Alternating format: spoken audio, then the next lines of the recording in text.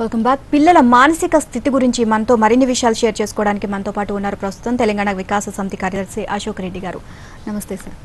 Sir చెప్పండి ఇప్పటి వరకు చాలామంది పిల్లలు ఏంటంటే చదువు చదువు వల్ల అంటే మార్కులు సరిగ్గా రాలేదని స్ట్రెస్ ఫీల్ అవడం వల్ల లేకపోతే పేరెంట్స్ ర్యాంక్ రాలేదని ఏమన్నా తిడతారేమో అన్న భయంతో వాళ్ళు ఆత్మహత్య చేసుకోవడం సూసైడ్ చేసుకోవడం ఇలాంటివి జరుగుతూ ఉంటున్నాయి. అసలు అంటే విద్యా సంస్థల లోపం కూడా ఏమైనా ఉంది అని మీరు అనుకుంటున్నారా? అంటే పిల్లల ఆత్మహత్యలలో ఒక ఉపాధ్యాయుడిగా ప్రధాన ఉపాధ్యాయుడిగా నాకున్నటువంటి అంచనా కూడా ఒకటి విద్యార్థుల తల్లిదండ్రులు బాధ్యత వహించాల్సి ఉంటుంది. అటు విద్యా సంస్థలు బాధ్యత వహించాల్సి ఉంటుంది. మోరోవర్ విద్యార్థులని ఆ మేరకు తయారు చేసి ఒక విద్యా విధానాన్ని రూపొందించడంలో వైఫల్యం చెందిన ప్రభుత్వాలు కూడా దీంట్లో బాధ్యత వహించాల్సి ఉంటుంది. ప్రధాన కారణం ఏంటంటే ఏ ఇద్దరు విద్యార్థుల యొక్క అభిరుచులు కానీ నైపుణ్యాలు కానీ సమానంగా ఉండవు వేర్వేరుగా ఉంటాయి. అంటే విద్యార్థి యొక్క నైపుణ్యాన్ని అతను ఉన్నట్టు అభిరుచుల్ని అంచనా వేసుకొని దానికి అనుగుణమైనటువంటి విద్యను అందించే ప్రయత్నం చేయడం అనేది విద్యా సంస్థలలో కానీ విద్యా ప్రణాళికలు రూపొందించడంలో కానీ జరగటం లేదు. రెండవది ఏమంటే అందరి తల్లిదండ్రులు నా పిల్లవాడు ఏం కావాలి అని కోరుకుంటున్నాడు తప్ప పిల్లవాడిని నువ్వు ఏమైతావు అని చెప్పని కూడా ప్రశ్నించడం లేదు. అంటే అందరిది ఒకటే లక్ష్యం ఒకటే గమ్యం. అయితే డాక్టర్లు కావాలి లేకపోతే డాలర్లు తేవాలి. అంటే విద్య యొక్క లక్ష్యము జ్ఞాన సముపార్జన తప్ప విద్య యొక్క లక్ష్యం ఎప్పుడు కూడా ఆర్థిక సముపార్జన కానే కాదు. కానీ వాళ్ళు ఏమైందంటే ఆధునిక కాలంలోకి వచ్చిన తర్వాత విద్య యొక్క లక్ష్యం అనేది అంతిమ లక్ష్యం అనేది ఆర్థిక సముపార్జనగానే ఎప్పుడైతే గుర్తించబడిందో తల్లిదండ్రులు అందరూ ఏం ఆశిస్తున్నారంటే అతడి మీద పెట్టిన పెట్టుబడి అంతా కూడాను మళ్ళీ తిరిగి రావాలా. వాడు ఒక డాక్టరే కావాలి వాడు ఒక సాఫ్ట్వేర్ ఇంజనీరే కావాలి. అంటే వీళ్ళు ఆర్థికమైనటువంటి అంశాన్ని మాత్రం పరిగణలు తీసుకుంటున్నారు. దారుణం ఏమంటే ఒక ఉపాధ్యాయుడి కూడా తన కుమారుడు ఉపాధ్యాయుడు కావాలని కోరుకోవటం లేదు. అంతకంటే ఏదో పెద్ద ఏదో కావాలని కారణం ఏమిటంటే ఒక ఆర్థికంగా అధిక ప్రయోజనం ఉంటుంది కాబట్టి. ఇవి విద్యార్థి మీద ఒత్తిడి పెంచుతున్నమాట నిజం. మీరు అన్నట్లుగా మార్కులైనా అదే లక్ష్యమైనా గదే. అది అందుకోలేకపోతున్నాను అనుకున్నప్పుడు విద్యార్థి కొంత మానసికంగా అంటే అపరిపక్వ స్థితిలో ఉంటాడు కాబట్టి ఒక ఒక అయినట్టు సందిగ్ధ స్థితి ఎదుర్కొంటాడు. అది ఏమిటి అనంటే మా నాన్న నా మీద కొన్ని మా మా అమ్మ కొన్ని ఆశలు పెట్టుకున్నది వాటిని నెరవేర్చలేకపోతున్నాను. నాకు వందకు వంద మార్కులు తెచ్చుకోమన్నారు నేను తీసుకురాకుండా ఇంటికి ఎట్లా పోవాలి నేను? నా మీద ఒక నమ్మకం పెట్టుకున్నారండి. పాఠశాలకు వెళ్ళిన తర్వాత నాకంటే మెరుగ్గా చదువుకునే విద్యార్థులు మనం అనుకోలేకపోతున్నాను. ఒక ఆత్మన్యూనతా భావం. ఇక్కడ అందరం కూడా ట్రైపోలార్లో మనం అర్థం చేసుకోవాల్సింది ఏమిటి అని అంటే ప్రకృతిలోంచి వచ్చినటువంటి మనం ప్రకృతిలో ఉన్నటువంటి వైరుధ్యాన్ని కానీ ప్రకృతిలో ఉన్నటువంటి వైవిధ్యాన్ని కానీ విద్యార్థికి అర్థం చేయలేకపోతుంది అవి కనుక అర్థం చేయగలిగితే ఎదుర్కొనే ఒక మానసిక స్థితి తప్పనిసరి విద్యార్థిలో వస్తుంది. తట్టుకునే స్థితి వస్తుంది. ఇవాళ ఏమైందంటే పరిస్థితిని ఎదుర్కొనే స్థితి లేదు. ఏదైనా ప్రతికూల పరిస్థితి దాన్ని తట్టుకునే స్థితిలో కూడా మానసిక స్థితిలో కూడా వాళ్ళు లేరు. అంటే మానసికంగా ముందు అతను ఎదగాల్సి ఉన్నది మానసికంగా ఎదిగించే ప్రయత్నం మనం చేయాలి ఎదగటం లేదు. ఇది నిజం. మొన్న ఒక మిత్రుడు అంటున్నాడు దేవుణ్ణి దేవుడు ఒక ఎదురు పడితే ఏం కోరుకుంటానంటే ఏమన్నాడంటే ఆయన దేవుడా నాకు కష్టం ఇయ్యకు అని నేను కోరుకోను. కానీ కష్టాన్ని ఎదుర్కొనే మానసిక స్థైర్యాన్ని ఏమని కోరుకుంటా? అన్నాడు. ఎందుకంటే కష్టం అనివార్యం. అది రాకుండా ఎప్పుడూ ఉండదు. కానీ వచ్చిన దాన్ని ఎదుర్కొనేటటువంటి ఒక మానసిక స్థితిని ఆ పరిపక్వతని విద్యార్థిలో మనము చేర్చలేకపోయినాం అతను కల్పించలేకపోయినాం దానికి మాత్రం మొత్తం వ్యవస్థ బాధ్యత వహించాల్సిందే. నిన్న జరిగినటువంటి అమ్మాయి మెడికు అయ్యిండి కూడా ఆత్మహత్య చేసుకున్నది ఏంటంటే మానసికంగా ఎంత అపరిపక్వ స్థితికి వచ్చిందో మనం ఆలోచించాలి. ఇంతకుముందు కూడా ప్రభుత్వాలు ఎప్పటికప్పుడు చేతి దులుపుకుంటున్నాయి. ఇంటర్మీడియట్ విద్యార్థిని ఆత్మహత్య చేసుకుంటే నీరదారెడ్డి కమిషన్ వేసినారు. ఆ కమిషన్ రిపోర్ట్ ఏమైంది తెలియదు. సంఘటన జరగగానే ఒక కమిషన్ వేయటం చేయడం పరిమితం అవుతున్నాం కానీ ఆశాంతం విద్యా వ్యవస్థను కనుక విద్యా ప్రణాళికల్ని కనుక పాఠ్యగ్రంథాలు తయారు చేసుకునేటప్పుడే కనుక ఇవన్నీ ఆలోచించి రూపొందించుకునే ప్రయత్నం చేస్తే అంటే అంతిమంగా ఏం కావాలంటే విద్య విద్యార్థిని సర్వతోముఖ అభివృద్ధి సాధించే దిశ తీసుకుపోవాలి సర్వతోముఖ అభివృద్ధి అంటే ఒక ఉత్పత్తి దశ నుంచి ఇంకో ఉత్పత్తి దశలోకి సునాయాసంగా మారగలిగినటువంటి సామర్థ్యం మ్మ్. అంటే నేను చదువుకుంటూ పోతున్నాను నాకు ఉద్- ఉద్యోగం రాలేదు ఇమీడియట్గా మరొక ఉపాధి మరొక ఉపాధి రంగంలోకి మారగల శక్తి ఉత్పత్తి రంగంలోకి మారగల సామర్థ్యం నాకు రావాలి. అంటే బీఈడి చదివితే ఉపాధ్యాయుడే అవుతాడు. అంతే ఇంక అంతకంటే ఇంకేం కాలేడు. ఓ గ్రాడ్యుయేట్ అయితే ఒక జూనియర్ అసిస్టెంట్ క్లర్క్ అవుతాడు. ఇక అంతకంటే ఇంకేం కాలేడు. మరి ఆ క్లర్క్ పోస్ట్ రాకపోతే ఇక లేదు మార్గం. అందుకని ఇక్కడ దీని లక్ష్యం కనుక సర్వతోముఖాభివృద్ధి సాధించినట్టుకుంటే విద్యార్థి కూడా ఎప్పుడు కూడా ఆత్మన్యూనతా భావానికి లోను కాడు. భవిష్యత్తు మీద ఒక భరోసాతో ముందుకు సాగుతాడు. ఇది దొరకలేదు అంటే నాకు ఇంకొకటి దొరుకుతుందని ఒక విశ్వాసంతో కలుగుతుంది.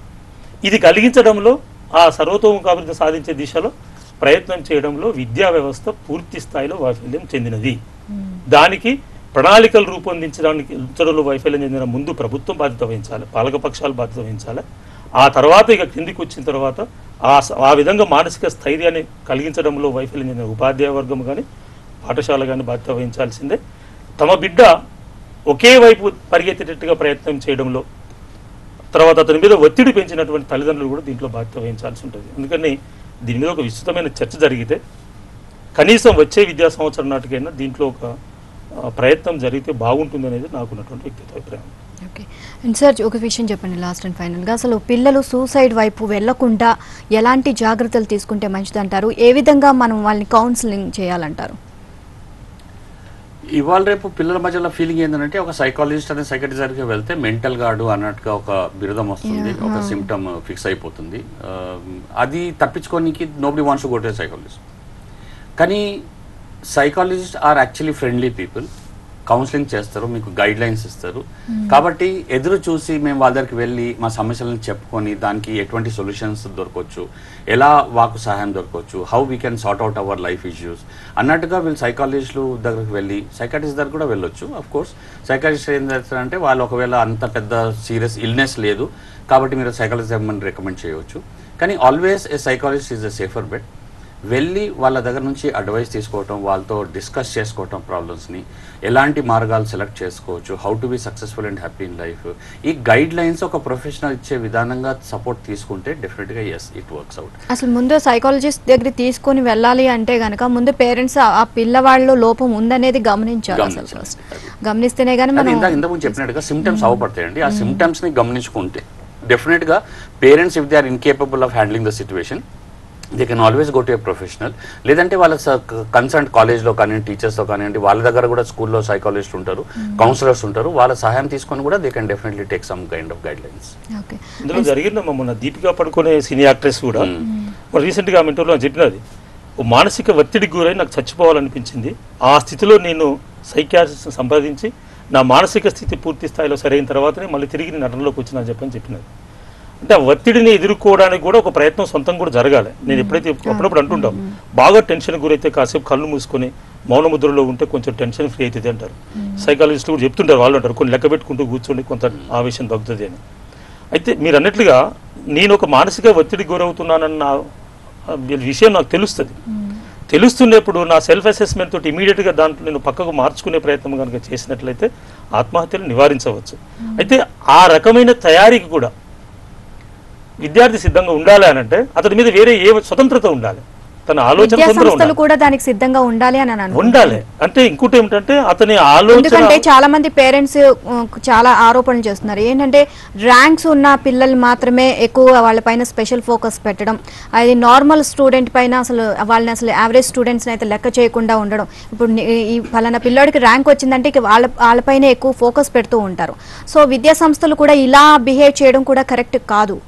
అది పొగడత ప్రశంస అనేది విమర్శ అనేది విద్యా విధానంలో ఉండకూడదు అసలు. అది కొల్- కీలకం ఫస్ట్ తీసేయాలి.